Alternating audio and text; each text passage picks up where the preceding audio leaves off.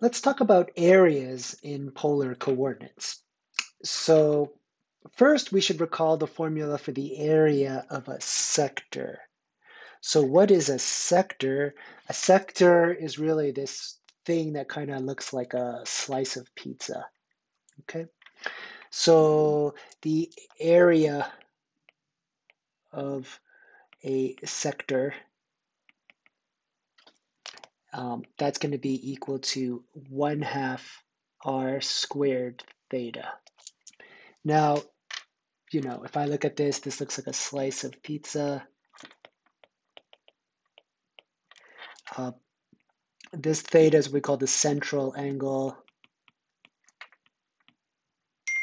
And this r is our radius, of course. So we want our central angle expressed in terms of radians, just as a quick reminder. Okay, so this is the um, general formula we have that comes from pre-calculus. Okay, so we are going to try to find a formula for the picture that we see on the right over here. So we have some sort of polar curve. That polar curve is r is equal to f of theta. Our region of integration is going to be two different um, angles of theta. So theta equal to a and theta equal to b. And then this uh, region is what we're trying to find the area of. And what we're going to do is we're going to use our basic calculus idea. Namely, first we chop our region up into n equal pieces.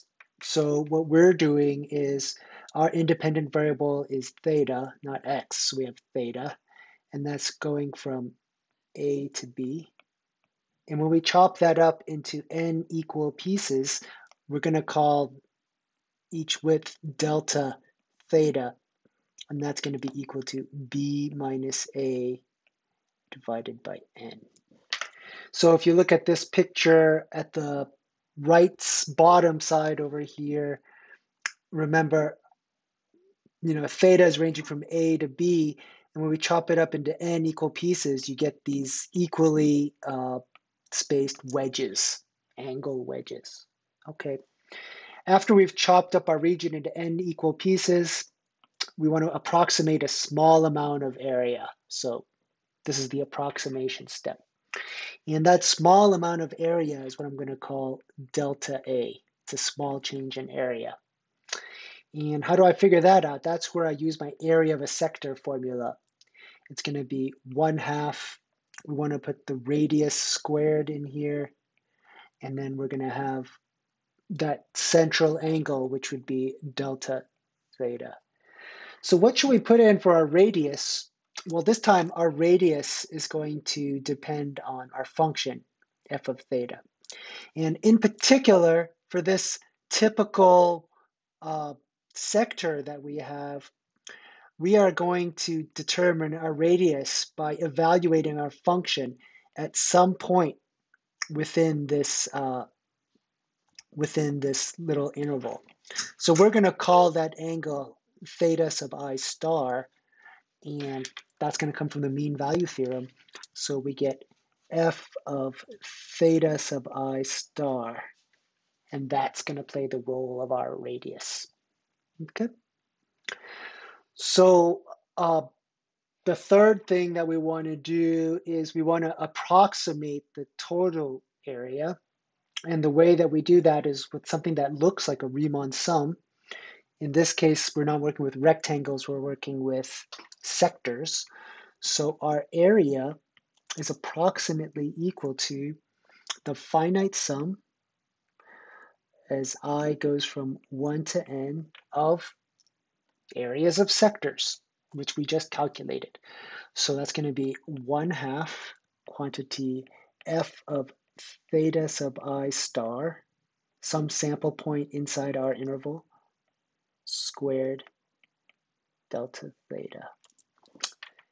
Now, to get the actual formula for the area, we are simply going to take a limit.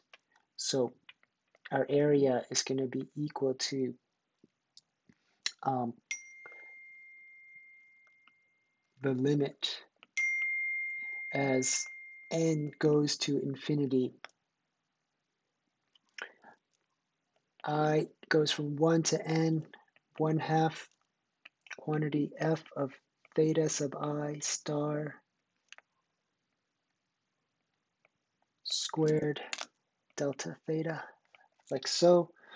We know that sigma is the Greek letter for S, delta is the Greek letter for D, so I can basically rewrite this limit as an integral, that integral of 1 half uh, f of theta squared d theta, and we're going to be going from A to B. If you wanted to, you could also write this as uh, the integral from a to b of 1 half r squared d theta, because our f of theta is really the same thing as r, and this is our area. So I am going to highlight this formula. This is something we should know and memorize. And um, All right, everyone, this concludes our video on areas in polar coordinates. We'll look at an example in class later on. Take care, everyone.